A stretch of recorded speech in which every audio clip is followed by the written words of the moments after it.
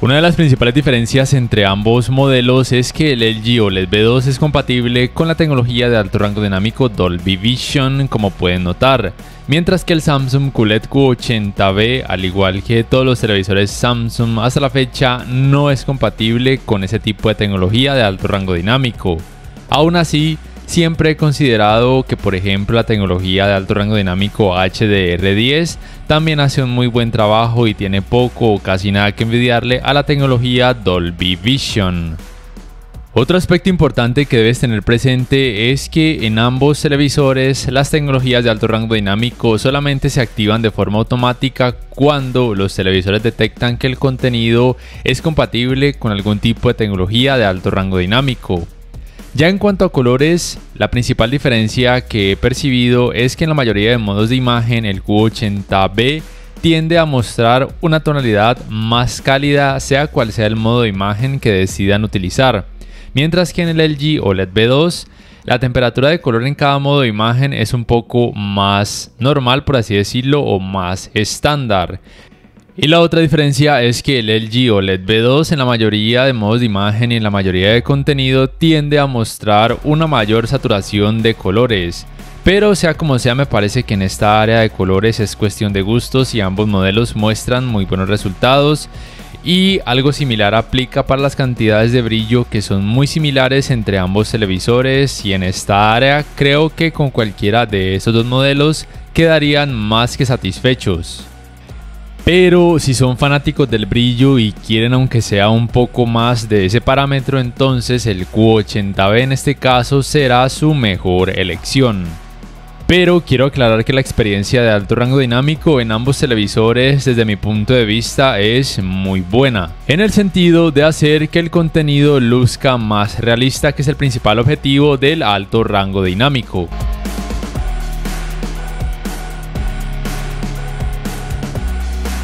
En escenas oscuras, el ganador indiscutible es obviamente el OLED B2 porque puede llegar a reproducir colores negros perfectos y nunca van a notar efecto clouding, ni blooming, ni resplandores de luz en los televisores OLED.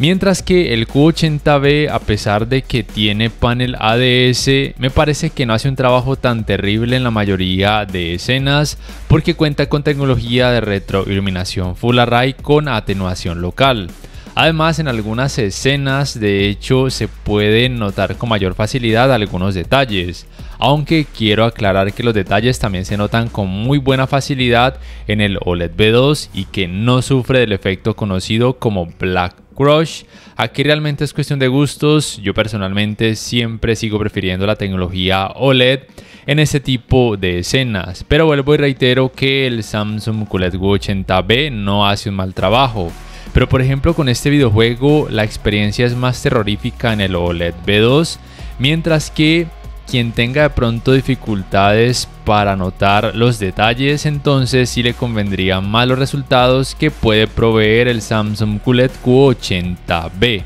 O mejor dicho, en este tipo de escenas, ya sea videojuegos, series o películas, me parece que en el OLED B2 se pueden representar mejor las cosas, muy probablemente a como el director de ese contenido quiere que vivamos esa experiencia, mientras que el Q80B tiende a mostrar las zonas con oscuridad o sombras mucho más claras y aquí realmente también es cuestión de gustos.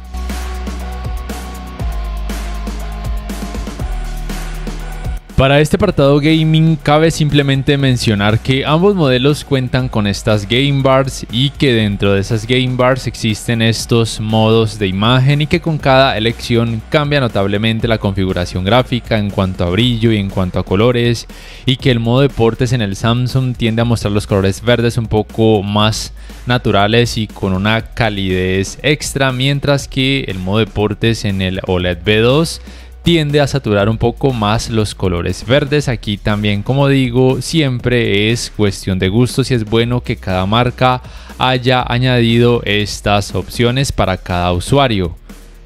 Y a través de esas game bars se puede acceder a modificaciones extra para el modo juego. Por ejemplo, en el Samsung se puede acceder al Game Motion Plus del juego, que al activarlo se mejora notablemente la fluidez, aunque en este caso se puede activar porque tengo un splitter HDMI. Pero cuando conecto, por ejemplo, la Xbox Series X directamente al televisor, no hay necesidad de activar este parámetro. De hecho, no se permite activar porque no es necesario. Ambos modelos son compatibles con tecnologías de frecuencias de actualización variables, tanto G-Sync como también FreeSync Premium. Y ambos modelos también son compatibles con HDR Juego, también conocido como HGIG o HDR Gaming Interest Group, que lo que hace es mejorar un poco el contraste y levemente el brillo en videojuegos que tienen alto rango dinámico. En cuanto a tiempos de input lag, ambos televisores se comportan muy bien tanto en 4K a 60 Hz como en 4K a 120 Hz y ya que mencioné esto, la principal diferencia en esta área es que el Q80B tiene 4 puertos HDMI 2.1 mientras que el OLED B2 tiene 2 puertos HDMI 2.1 pero que desde mi punto de vista pueden ser más que suficientes para casi cualquier usuario. Yo personalmente considero que sea cual sea la elección para un apartado gaming competitivo, pienso que quedarían más que satisfechos con cualquiera de ambos televisores. Simplemente que si quieren un resultado más terrorífico en videojuegos que tengan escenas oscuras o que simplemente sean de survival horror, me parece que con el OLED B2 probablemente quedarían más satisfechos. Pero si lo que quieren es más claridad en ese tipo de videojuegos, obviamente el Q80B muy probablemente será su mejor elección. O simplemente lo otro que pueden hacer es modificar algunos parámetros para que en el Q80B la experiencia luzca un poco más terrorífica y en el OLED B2 para que estas partes tiendan a lucir un poco más claras. Usualmente los parámetros para intentar hacer estas modificaciones son el contraste, contraste dinámico, también por supuesto el brillo y los valores de gama.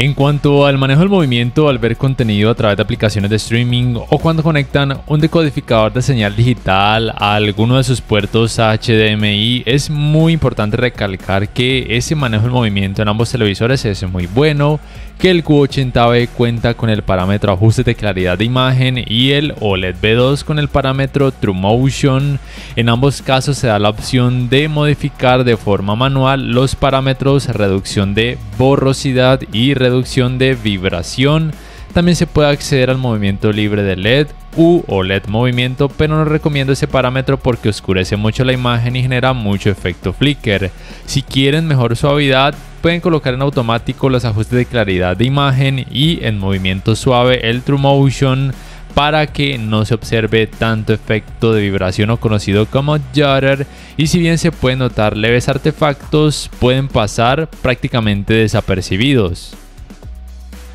Y en cuanto a otros aspectos de calidad gráfica, es importante mencionar que la uniformidad de colores grises en ambos televisores es muy buena, siendo mejor en el OLED B2, pero sea como sea, en ninguno de ellos el efecto de pantalla sucia va a ser un problema, por ejemplo, a la hora de ver deportes o jugar videojuegos de deportes o observar otro tipo de contenido con más color. También es bueno mencionar que el manejo de los reflejos en ambos televisores es muy bueno. Son televisores muy pero muy decentes para habitaciones que reciban iluminación tanto artificial como natural. Y otro aspecto importante tiene que ver con que si bien los ángulos de visión en el Q80B son digamos que muy decentes por el hecho de tener panel ADS, sí que es cierto que en el OLED B2 son simplemente mucho mejores por el hecho de contar con su tecnología OLED. Entonces es una mejor opción para ver por ejemplo un partido de fútbol con muchos familiares o amigos. Sin embargo el Q80B, vuelvo y repito, no hace un mal trabajo. Otro aspecto importante es por supuesto el trabajo de escalado de imagen. Para estos resultados utilizo el Filmmaker Mode en ambos televisores con contenido en rango dinámico estándar y simplemente lo que hay que decir es que el trabajo es muy bueno en ambos modelos, es prácticamente igual y en cuanto al Filmmaker Mode como tal sigue habiendo la diferencia que ya, que ya mencioné del principio y es que el Q80B tiende a mostrar resultados más cálidos y aquí de nuevo vuelvo y repito es cuestión de gustos. Y otro aspecto también muy importante es el rendimiento del sistema de sonido. En la teoría en el Q80B es mejor en la práctica también es levemente mejor, pero considero que el sistema de sonido del OLED B2 también es muy bueno. En ambos casos me parece que en esta área ambos modelos también realizan muy buenos resultados, simplemente que sí siento que es un poco más potente el resultado del Q80B, pero de todas formas aquí les dejo una prueba para que ustedes más o menos puedan darse cuenta de cómo podrían resultar en la vida real.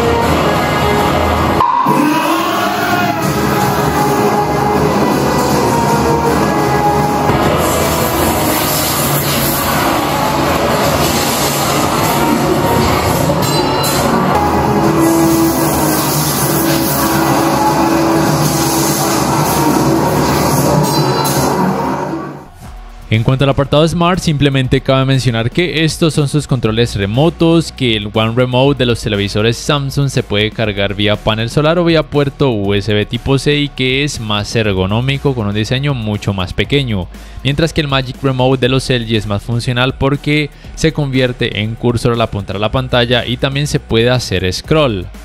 El sistema operativo del Q80B es por supuesto Tizen propio de la marca Samsung, mientras que el sistema operativo del B2 es WebOS propio de la marca LG. La fluidez del sistema operativo en ambos televisores es muy buena, es muy similar a la hora de cargar aplicaciones, a la hora de cargar videos, de adelantar o de retroceder videos. También es importante mencionar que ambos televisores son compatibles con los asistentes de voz Amazon Alexa y también el asistente de Google, además de los asistentes de voz propios de cada marca pero que en algunos países no son compatibles con todos los asistentes de voz. Por ejemplo, el Samsung aquí en Colombia de fábrica solamente es compatible con el Bixby Voice y para poder que sea compatible con el Amazon Alexa, el asistente de Google, hay que cambiar la región de su televisor Samsung. En la descripción les dejo un link a un video donde explico cómo cambiar la región de sus televisores Samsung. Mientras que el LG, por lo menos aquí en Colombia, no es compatible con el asistente de voz de Google por alguna razón que desconozco. Y otra diferencia es que el Q80B es compatible con la función de manos libres, mientras que el OLED V2 no es compatible con esa función. Las tiendas de aplicaciones son propias de cada sistema operativo y la cantidad y variedad de aplicaciones puede cambiar dependiendo de cada país o región y lo otro que deben tener presente es que a ninguno de estos modelos se le pueden instalar archivos externos. Es decir, que si no encuentran la aplicación que quieren dentro de esta tienda, simplemente no las pueden instalar de ninguna otra manera. También es importante mencionar que ambos televisores son compatibles tanto con la función de compartir pantalla como también con la función conocida como Multiview que puede ser muy útil para la gran mayoría de usuarios. Y también es importante mencionar que ambos televisores cuentan con un navegador de internet que es propio de cada sistema operativo, pero que en el caso del Q80B, por lo menos aquí en Colombia y en otros países, no permite la búsqueda por medio de comandos de voz ni en inglés ni en español, no sé por qué. Es un problema que han tenido los televisores Samsung desde el 2020 y la marca aún no da solución y se puede reproducir contenido multimedia a través de distintas páginas web sin problemas. Mientras que el navegador de internet del LG es más completo, permite la función de visualización de TV, que en una pantalla pueden ver algo conectado a alguna entrada HDMI y en la otra leer algo de alguna página web. También se puede acceder a búsqueda por medio de comandos de voz tanto en inglés como en español sin problemas y también se puede reproducir contenido multimedia a través de distintas páginas web. Y en cuanto al calentamiento en pantalla, luego de poco más de 3 horas de utilizarlo sin parar también por supuesto con videojuegos en ambos televisores es un poco más alto en comparación a televisores de gama baja porque tienen mayores cantidades de brillo y cuentan con tecnologías gaming avanzadas. La temperatura es un poco mayor en el caso del Q80B aunque nada exagerado, nada alarmante en ninguno de estos modelos. Ya para finalizar, yo les diría que si les alcanza para irse por el LG OLED B2, adelante y que no le teman al quemado de píxeles porque realmente es algo muy difícil que suceda. Además, créanme que la calidad gráfica en general les va a parecer mejor, o por lo menos a mí me lo parece y a la gran mayoría de personas también les parece ese aspecto. No obstante, el Q80B no es que haga un mal trabajo y de hecho pues para algunas personas puede ser mejor porque tiene una mayor cantidad de brillo, aunque no sea muy grande esa diferencia. Y también en cuanto a colores no hace un mal trabajo y es cuestión de gustos. Además el Q80B en cuanto a sonido es levemente mejor pero el OLED B2 no hace mal trabajo en cuanto a sonido y recuerden que en escenas oscuras el trabajo va a ser prácticamente perfecto precisamente por contar con la tecnología OLED. Además a mí personalmente me gusta más el sistema operativo WebOS de los LG.